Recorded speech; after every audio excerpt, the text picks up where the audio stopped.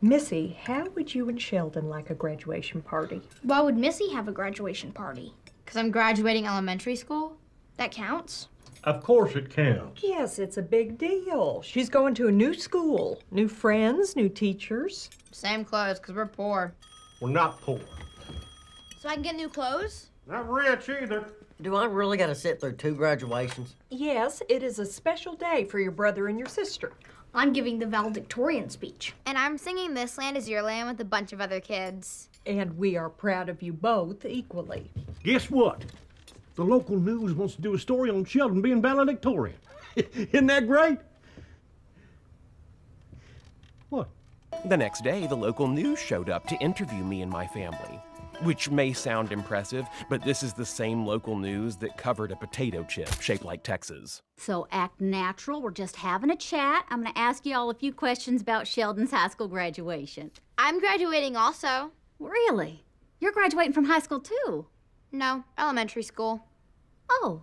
My class is singing This Land Is Your Land. Want to hear it? This land is your land. This land Hey, is can I ask my girlfriend to the prom on TV? It would blow her mind.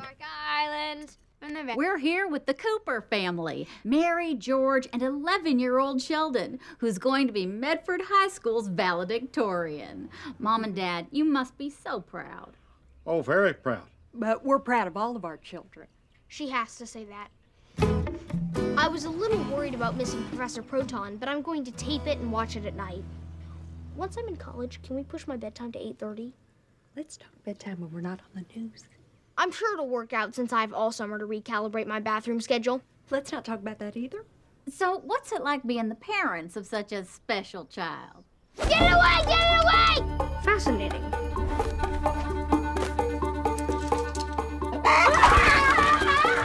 Every day is a blessing. Sheldon, tell us what you're going to miss the most about high school. Nothing. Really? Not your teachers, your friends? I only have one friend. And I don't think he's gonna miss me because he already found other people to have lunch with.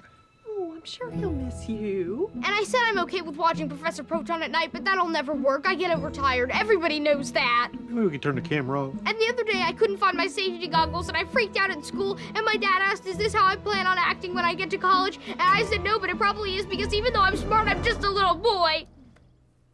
I think we have enough. Cut. The following day, I attended my sister's elementary school graduation. She didn't deliver a speech to me, but she did make eye contact while she sang This Land Is Your Land. Redwood forest to the Gulf Stream waters. This land was made for you and me. And later that day, we had a graduation party for me and my sister. I don't normally care for parties, but this one wasn't so bad. Who's ready for cake? Me. Hey, should we say grace? Heck yeah. Let's hold hands. Oh, cool. Let's say grace. Dale invited Jesus to the party, and while he wasn't on my guest list, it was okay because it made my mom happy. In fact, it was the best graduation party I had ever been to, until the one we had for my son, Leonard Cooper. Amen. Amen. Cake.